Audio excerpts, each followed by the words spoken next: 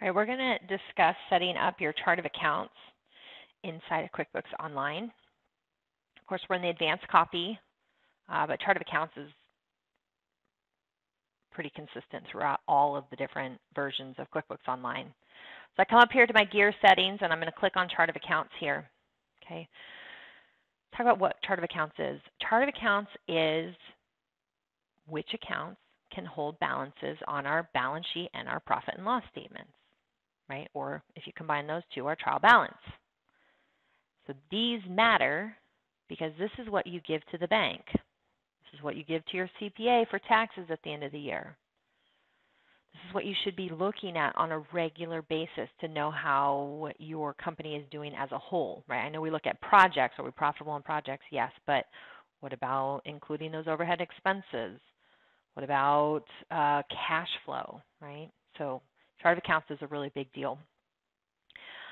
So when we come in here, we're just going to go through initially all the different account types that you can have in your chart of accounts. So when you look at your chart of accounts when you log in, the order that it should be in is going to be based on the flow. First, balance sheet, right? Assets, liabilities, equity.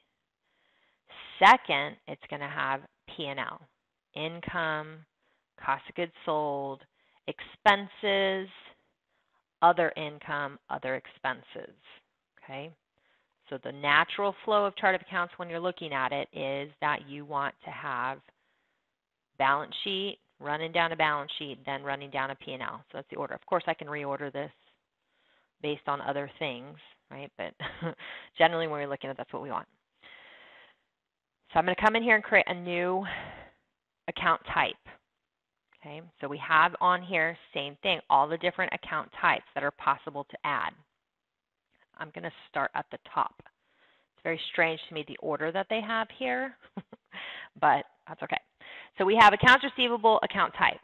In 99% of our files, there should only be one AR account there's no reason to have multiple AR accounts. A lot of times we'll see people go in and set up a separate AR account for uh, their allocation of bad debts, right? We'll see a separate one for retainage. We'll see all these different AR accounts. Sometimes we've seen AR accounts for every customer. That is not necessary because we can run the subledger reports, right? We can run an AR aging report and filter it by customer. Boom, same thing. I don't need to build that complexity into my chart of accounts. You're going to hear me say that a lot. So account type, accounts receivable.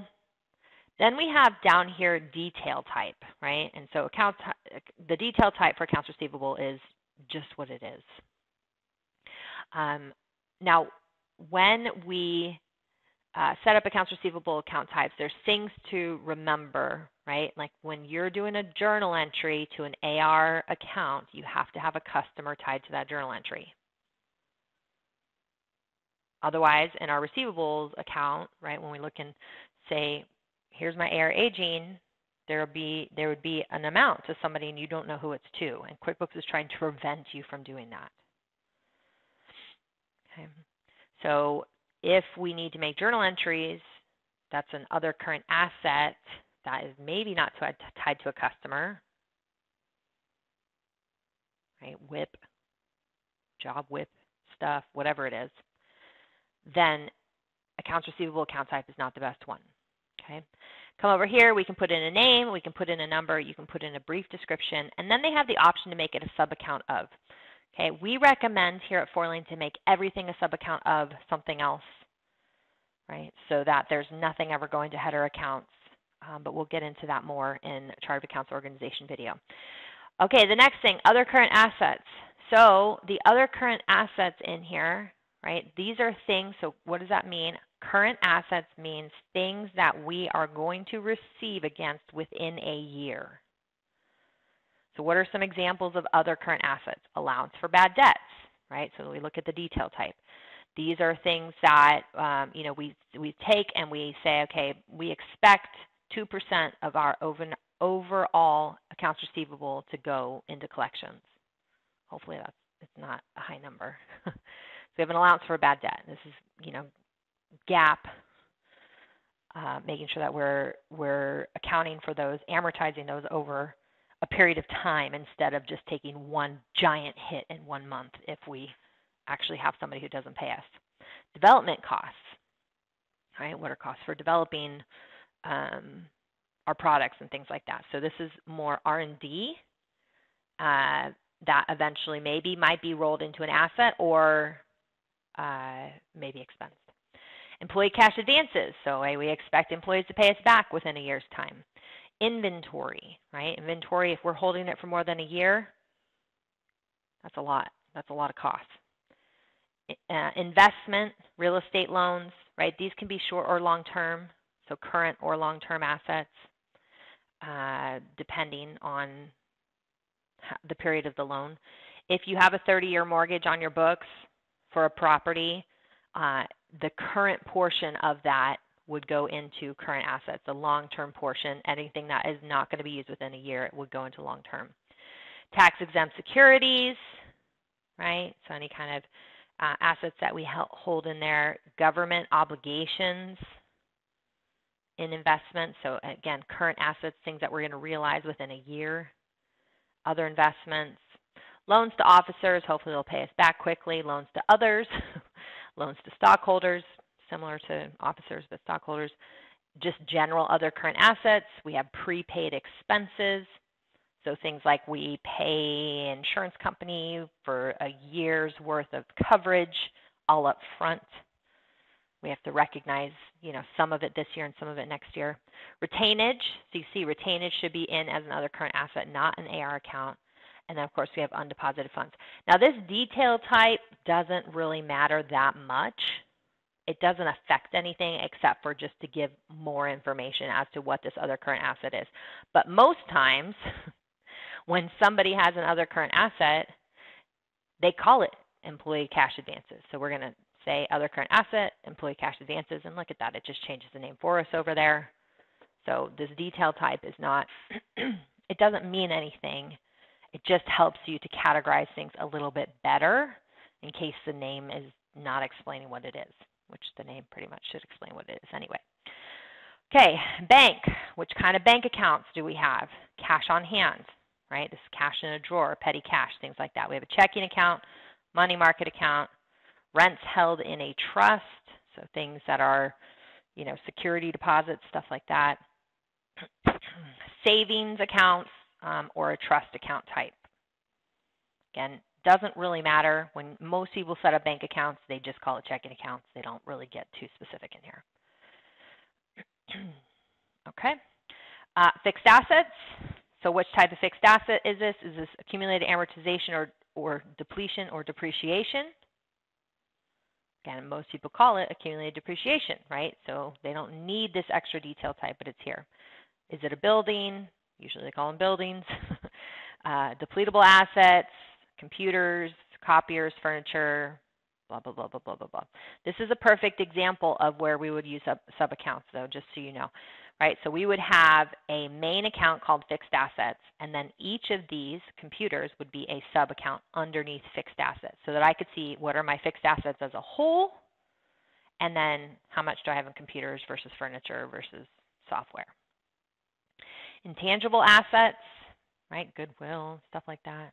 Land, leasehold improvements, machinery, equipment, other fixed assets or vehicles. Now again, don't get too in depth with this. It should not be every single vehicle you own is an account on the chart of accounts, right? Vehicles should be one giant lump sum. You should only put it in its own bucket if it's more than 5%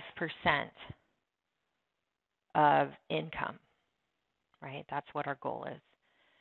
Because otherwise, it's immaterial amounts for us to be looking at at this high level on financial reporting. We have other assets. So this is the long-term portion. We looked at current assets before. This is all the things that will take more than a year to recoup our money, right? So we have accumulated amortization on other assets, goodwill. We have that in here. This could also go into intangibles. Lease buyouts, any kind of licenses. Again, that could also go into fixed assets. Um, so it really depends on the ownership there and how we're going to deal with it. Organizational costs, long-term assets, um, and security deposits. Okay, most of the time, other assets, the things that we're seeing in there, are the long-term portion of some kind of note, security deposits, and that's pretty much it. Okay, accounts payable. So this is very similar to accounts receivable, where we should only have one accounts payable account type. It is very rare that we would ever recommend that a client have multiple accounts payable account types. Very, very rare. Okay, there's only one detail type here. Then we have credit card account types. Okay, credit card and bank account types are special account types because they allow you to connect to the outside institution and download information into them. So if it is a true, like your Amex card, you want it to choose account type of credit card. And then, of course, there's only one detail there because credit card's a credit card. Other current liabilities. So this is the flip side from current assets. These are things that we are going to pay back within a year outside of accounts payable right? So income tax payable, insurance payable, lines of credit, the current portion, if it's a short-term line of credit, right, we've got a six-month turnaround. Or if it's a long line of credit, then this is going to be the current portion. Loans payable that are short-term, payroll, right, should all be short-term payments. We should be paying any payroll off within a year. Rents and trust, sales tax should be paid within a year state and local income tax, any trust account liabilities, and then undistributed tips um, also should be paid out with payroll frequently, so it shouldn't be sitting there for more than a year. Long-term liabilities, right? So these are the things that are sitting in there for more than a year. Notes payable, other, and then shareholder notes payable. I don't know why they don't have officer notes payable in here. I guess officers, they don't expect to have notes payable. Um, but we see it. Uh, then we have equity. So the bottom of the balance sheet is equity. Uh, so you have different detail types. Again, you know, most of the time you have these in the name anyway. Common stock, estimated taxes, health insurance premium. None of these we really recommend using too much. Partner contributions should be there, distributions should be there, and accumulated equity, basically. Those are the things that really should be in there. Retained earnings will happen naturally, and then maybe some kind of common stock or treasury stock that's held based on taxes. All right, now we move into the P&L section. Okay, see, it's strange to me. It all goes in the right order except for the first two. It's just weird. uh, now we come into income. So what are the detail accounts of income? You know, what detail types? Discounts, uh, nonprofit income. I don't know why they would have that separate, but you can call it that. Other primary income, sales of products, service fees, unapplied cash payment income. Again, don't worry about these detail types. I'm showing them to you, but you really, it doesn't matter. The name is what matters. So income account, this is not where you set up every single product you sell. That would be on the products list. This is where you need a high level view. So you sell services and products. You want to just say service sales, product sales. That's it. Because you can get the subledger reports to see all the details. All right, next we have other income, so it is out of order down here too. Other income really should be showing up at the bottom of your list. Other income are things that you are earning revenue for that are not part of your natural business, right? Like interest. You don't, you're not in business to make interest revenue. Uh, or let's say you uh, sell a vehicle and you make money on the gain. You have a gain on the sale of the vehicle. You're not in business to sell cars or trucks or whatever it is, but somehow you manage to make some revenue on the sale of the truck or you had already depreciated the truck and now you're selling it so you're you know you're recognizing that revenue. That's other income. That's what's going to fall into other income. Dividend income other investment income tax exempt interest right? Those are some of the options down there. Cost of goods sold. This is a really big deal. Every company should have some form of cost of goods sold okay and for us, it matters uh, a lot because cost of goods sold in in uh, the state of Texas, they take your revenues minus your cost of goods sold, and that's what you're paying business taxes on to the state. Um, so cost of goods sold, making sure that your cost of goods sold is accurate is very important. Okay. Uh, so this can be cost of labor, this can be equipment rentals. Not usually, unless you're billing that equipment out directly to your client, then maybe equipment rental, but not usually. Shipping and freight are you generally cost of goods sold, uh, and then supplies and materials. So how do you judge what should go into cost of goods sold? It should be if this expense is going to directly relate to revenue, right? It's not rent, because rent does not relate, relate directly to revenue. If I buy a piece of paper and I'm using it in the office, that is not going to directly relate to revenue. However, if I sell paper and I resell it when I buy the paper, I it costs a penny. I'm going to sell it for two pennies. That is a cost of goods sold, right? So it's whatever the cost is is going to directly relate in some form, right? And usually it's based on a percentage into income. And if you have questions on if it should be cost of goods sold, definitely give us a call. Expenses.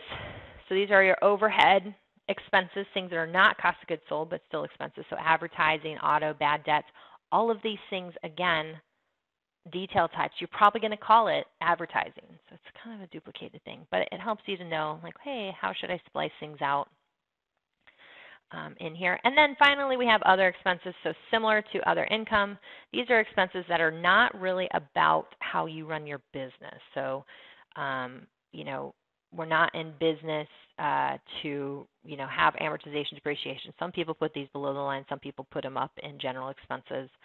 Um, you know, exchange or loss on currency. That's a good one. Uh, parking tolls or penalties. Uh, this is because we can't, you know, it's just to call it out to our CPA and like, hey, we had a penalty that we paid because that we can't take that as an expense. Um, so a lot of times you'll th see things put down into other expenses that are things that we want to call out specifically as CPA, especially you know gain loss on fixed assets. Um, I don't know a settlement from something um, that we have. You know somebody uh, hurt our building and we got a settlement from insurance on it, so we want to call it out and let the CPAs decide what to do with it. Um, but a lot of these things down below here, right? Vehicle, vehicle insurance, lease, loan, all of these things, if you have vehicles, like you have trucks, you have a fleet, those all are expenses. So I don't really understand some of the things that show up down here. Okay. Um, all right, detail type doesn't matter. Account type matters a lot. Make sure to put your names in there, but not get too detailed. 5% of income, if it's going to be a number that's less than 5% of income, it probably should not have its own account. And then we're going to talk about organization of using sub-accounts here in a little bit. So those are the account types on the chart of accounts.